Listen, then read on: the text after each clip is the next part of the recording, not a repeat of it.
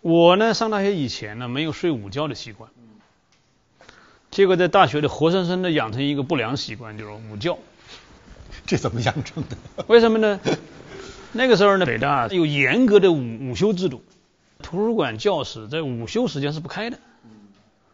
像我呢，没有午休习惯的毛孩子，想去自习是不可能的。你在宿舍，大家都是睡觉，你就得跟着睡，就一直睡到现在。中午现在不睡觉，还觉得感觉一个什什么事儿没干一样的那个。就是在那时候，比如来北京之前十几岁，在在老家，那时候你对未来人生有什么渴望啊、向往啊？哎我还是挺有理想的一个人。嗯，那有人说这个“天将降大任于斯人也”那个意思，但是我没怎么，就是就觉得自己好像应该做点事情那种感觉。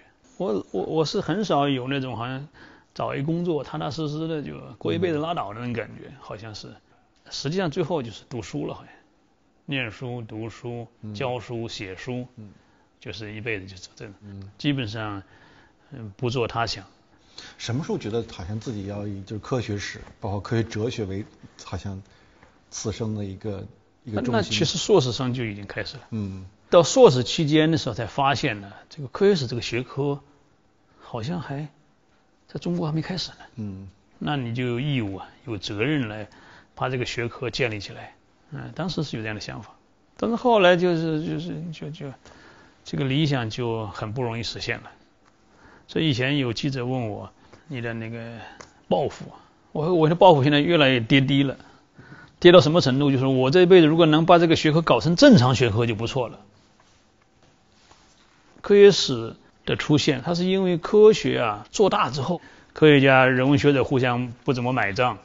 比方说理科生很傲慢，造成两种文化的冲突，所以人们觉得哎这不好啊，我们要搞那个统一。所以，第一代科学史家萨顿他的一个名言就是“新人文主义”，就是要科学的人文主义。嗯，哎，他觉得学科学史是大桥，他是这么一个过程。中国就不一样。嗯，他不是说是科学人文的桥梁，主要做中国古代科技史。双重背景，一个就是说中国近代落后，嗯，积贫积弱，需要从祖先的成就里面寻求安慰。另外一个呢，五零年代这个中国被封锁。啊，希望通过这个来突破，所以中国古代叫科技史，从来不叫科学史。对，他没法说。您自己什么时候清晰的意识到科学与技术不同，更清晰明确的意识到这一点？九零年代，我写了一本书叫《时间的观念》，嗯，里面有一章是讲中国，就是说质疑李约瑟问题。李约瑟是两句话嘛，第一句话是中国古代科学很发达。第二句话说，那为什么近代落后了呢？啊，两句话是配着的。我们中国人喜欢李约瑟难题，主要是喜欢第一句话，就是说中国古代科学很发达，我们听了挺舒服的。那错的就是这句话。它其实智人种的进化过程中呢，有很多这个关键的步骤都是反常的。嗯，科学的出现本身就是一个反常行为。为什么呢？科学性思维方式它最最大的一个关键的步骤就是发现了自然。发现自然什么意思？就是发现了事物自己。原始思维里面最基本的思维是互胜律。啊，不知道你们有没有听说过啊？以前有个法国人类学家叫做列维布留尔，他考察各种原始民族啊，所有的原始民族他的思想方式都是互渗渗透的渗透，嗯，就是。万物普遍联系，嗯，那是正正常的，嗯，因为我们人都是一个生态人嘛，生态的存在者，跟我们的周边环境呢都是密不可分的，所以呢，正常的人呢都会认为我们跟周围是有一种相互渗透的关系。啊，现在这个水突然跳动，一定是某些鬼神在作怪。假如现在此刻地动山摇，嗯，那就是中国话讲，那就是天道对人间产生愤怒。中国思想。他把那个互胜律啊做了精致化处理，精致化的版本就是天人合一，天地人三才，它是以某种这个人格化的啊这个方式来贯通的一种东西。只有这个希腊人第一次突然来了这么一句说“物有其自身”，这是挺挺惊天动地的一个说法。你比如说，希腊人认为地球是个浮在水上的一个东西，像船似的，地震就是晃悠晃悠着，所以这个船它自身有一个逻辑。这件事情后面就被希腊思想家给升华了，后来就出现一个所谓存在这个说法，这个 being 这个词就出来了嘛。它其实呢，说简单就是说，事物有自身就是第一定律，我就是我。那你确认有我挺不容易的了，因为我始终在变化之中。嗯，这就是希腊思想第二个问题，就是说，你承认有个自己之后呢，你就把不变奉为最高的东西，而变呢反而成了一个假象。这个思想在中国文化中完全没有市场。中国思想比较喜欢无我。你这你说你有我，那你属于冥顽不化。你所以中国思想对那些。固定不变的东西啊，它是是鄙视的，什么僵化呀，什么教条啊。中国人讲最高的是生生自为义，变着呢，有变就有希望啊。希腊人会认为你那是假象，知道吧？你把一个筷子插到水里去，筷子弯了没有？你看见是弯了，拿出来又直了，这怎么回事？就证明你看的那个弯肯定是个假象。所以希腊思想一旦承认事物有自身自己之后，它就引发很多问题。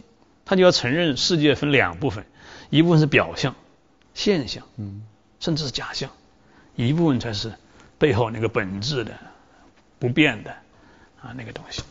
咱们打个比方，这个圆有这个东西吗？你见过圆吗？我当然见过了。那小孩脑袋都挺圆的，他真的很圆吗？那当然不圆了。也就是我们见过的所有东西都不是真正的圆，那就有问题了。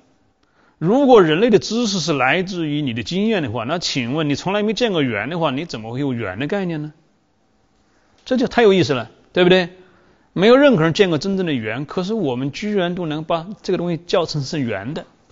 嗯，那柏拉图那就就他就特别好解释了，说那是因为我们有圆的理念呢，然后呢，我们才能把它定义成圆呢，我们才能说脑袋是是圆的，才能说脑袋不够圆，才能说这个杯子口是圆的。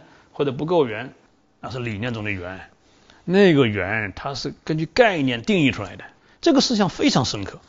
通过概念，我们是可以把整个世界都推出来的，就是用简单的 element principle 啊来组建整个大千世界的丰富的多样，构成一套稳定的、严格的这个固定的一些关系，这就是科学。所以。所以万古不移的那些定理、那些那公理啊，这些东西看起来都是废话。嗯。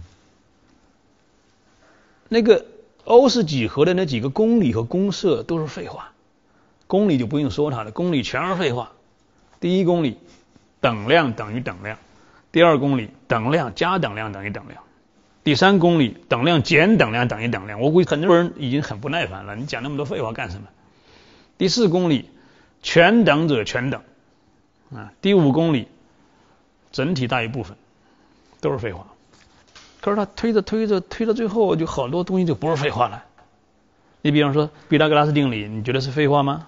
那不是废话呀。一个直角三角形，它直角边的平方和等于斜边的平方，这个事儿好像不是说你一眼能看出来的。哎，你是你如果不经过理性的自我的那个。那个修炼的话，你大概你永远在黑暗之中。嗯，那完了，这一下西方思想的动机就出来了。他为了使人成为一个人，所以不断的讲，呃，自由啊、理性啊、真理啊、启蒙啊，这都都都都都一大堆东西都出来了。你像刚才我们讲那这个这个朱可桢这一代人，其实朱可桢这一代人是是非常淳朴的接受西方科学教育的一代人，他也是最早。认识到科学的本质是求真。嗯，他说什么是科学？科学的本质，科学的精神是什么呢？他说那就是叫做叫做不及利害，但问是非，八个字儿。嗯，这个思想在中国文化里是破天荒的。说得好，真的真的好，是吧？嗯，不及利害，但问是非。那我们以前是不理解，那哪有这种傻人呢？嗯，所以呢，到了这个新世纪。这时候你就发现，你开始觉得中国科科学不行呢，是因为我们穷没钱。